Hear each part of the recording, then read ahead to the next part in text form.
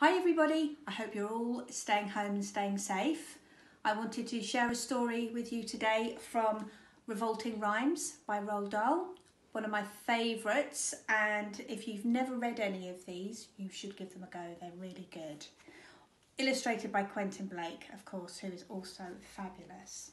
So the one I want to read to you today is called Little Red Riding Hood and the Wolf. As soon as the wolf began to feel that he would like a decent meal, he went and knocked on Grandma's door. When Grandma opened it, she saw the sharp white teeth, the horrid grin, and Wolfie said, May I come in? Poor Grandmama was terrified. He's going to eat me up, she cried. And she was absolutely right. He ate her up in one big bite.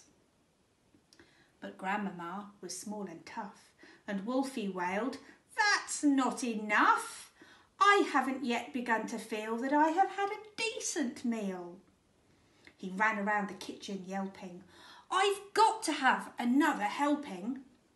Then added with a frightful leer, I'm therefore going to wait right here till little Miss Red Riding Hood comes home from walking in the wood. He quickly put on Grandma's clothes. Of course, he hadn't eaten those. He dressed himself in coat and hat. He put on shoes, and after that he even brushed and curled his hair, then sat himself in Grandma's chair. In came the little girl in red. She stopped, she stared, and then she said, What great big ears you have, Grandma. All the better to hear you with, the wolf replied. What great big eyes you have, Grandma, said Little Red Riding Hood. All the better to see you with, the wolf replied.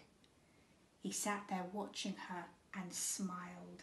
He thought, I'm going to eat this child.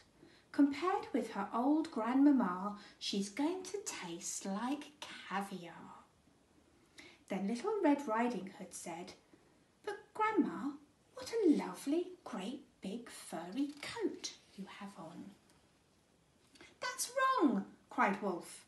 Have you forgot to tell me what big teeth I've got? Ah, well, no matter what you say, I'm going to eat you anyway. The small girl smiles, one eyelid flickers. She whips a pistol from her knickers. She aims it at the creature's head and bang, bang, bang, she shoots him dead.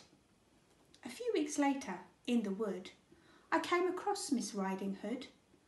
But what a change! No cloak of red, no silly hood upon her head. She said, Hello, and do please note my lovely furry wolfskin coat. There you go. I hope you enjoyed that and look after yourselves. See you all soon.